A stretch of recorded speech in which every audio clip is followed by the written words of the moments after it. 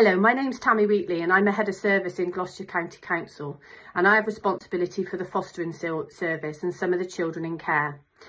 We're just about to launch something really exciting in Gloucestershire and I want to be able to tell you all about it and encourage you, those of you that think you might be able to help us or come forward to uh, give us a ring and find out a little bit more about it.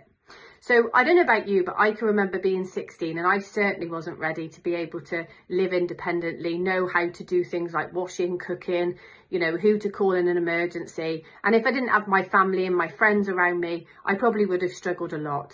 And what we're trying to do is replicate something like that for our children in care, for children who are unable to live with their families or don't have that supportive network around them.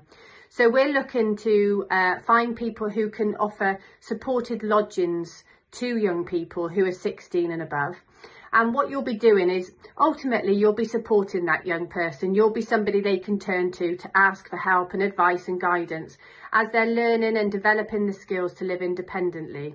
So you'll be helping them to grow those wings so that they can fly into adulthood and be successful. And also somebody that they know they can turn to and they can ask for help or they can, you know, ring you at the end of the day when they've missed the last bus and they don't know how to get home. Or if they're trying to cook a meal and they get stuck, how long do you cook the chicken for? You know, how do you know when this is cooked? So that they can, they've got somebody like you, somebody that wants to really help and, and, you know, encourage young people to be the best that they could be.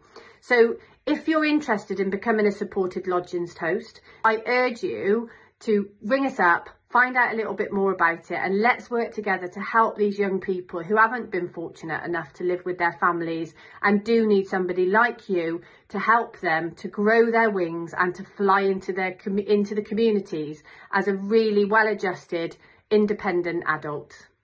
Thank you.